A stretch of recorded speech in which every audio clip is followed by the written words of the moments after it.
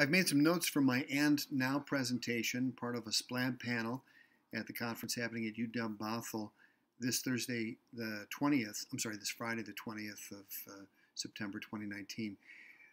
And uh, we're talking about Cascadia by anthology, and I'm going to talk about the two anthologies uh, that I was uh, chosen to discuss.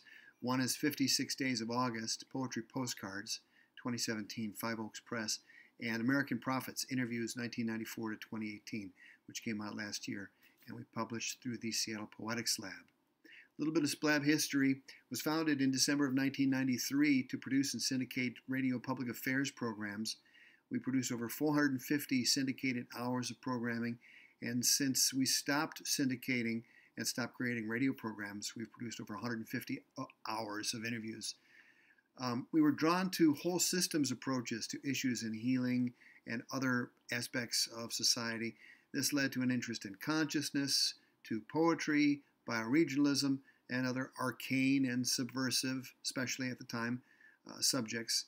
Uh, we were able to sneak in to our program because the programs aired at really bad times 6, 7 a.m. Sunday morning, midnight Sunday night, that kind of thing.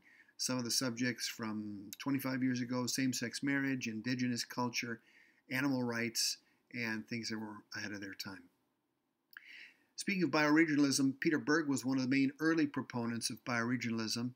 We did an interview with him in the early 90s, and some of the things he said about uh, his stance toward living, bioregionalism, was one, after the construction of the first iron bridge in England, he says Western consciousness has been dominated by the idea of taking natural systems apart for their ingredients and then reassembling the ingredients to make other things, a chemical trick that has been enormously powerful, not successful, he says, because the end product is garbage.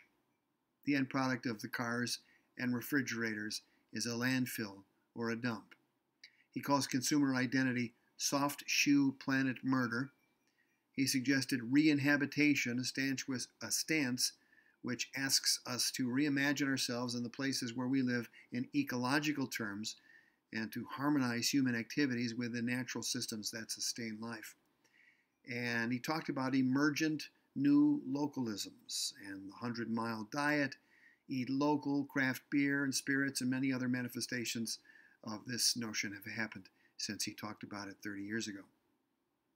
It took SPLAB 25 years, but an anthology which came out in time for our 25th anniversary celebration in December of last year, American Prophets, not an anthology per se, but a group of interviews with different people, it's also uh, the URL of our landing page for interviews, AmericanProphets.org. Uh, in the book are transcribed interviews with Rupert Sheldrake, Jean Houston, Larry Dossey, Jerome Rothenberg, Allen Ginsberg, Anne Waldman, Sam Hamill, Michael McClure, Brenda Hillman, Nate Mackey, Phyllis Curott, Bhagavan Das, E. Richard Atleo, Beaver Chief, Wanda Coleman, and others. And the poetics that came out of these interviews is open, spontaneous, partial to the projective or organic, also partial to serial form. This brings us uh, to the evolution of the anthology 56 Days of August, Poetry Postcards, and the project that spawned it, the August Poetry Postcard Fest, which celebrated its 13th year in 2019 and had 424 participants from all over the world. So the, the fest was is about writing poetry to strangers uh, spontaneously on postcards in a first take. So it's uh, part organic form, it's part calligraphy, it's part seriality, and um, it's becoming a more popular project and a fundraiser of SPLAB since the registration fee is 10 bucks. I like to think of the interviewing aspect of this work and potential future interview anthologies as akin to the work of a bioregional Sudhana, to take a figure out of Huayan Buddhism, a man who traveled and interviewed, I think it was 52 different enlightened people, and at the end became enlightened himself. Not expecting the same outcome, but also not expecting to be the Jose Marti of Cascadia, somewhere in the middle. Um, the bioregional cultural investigation of Cascadia includes the interviews and events like the Cascadia Poetry Festival, which will happen on San Juan Island May 1 through 3, 2020, and be in part a tribute to Robin Blaser and in part a look at the practice of Cascadia, the Practice of the Self. I'd love to see a book come out of next year's festival.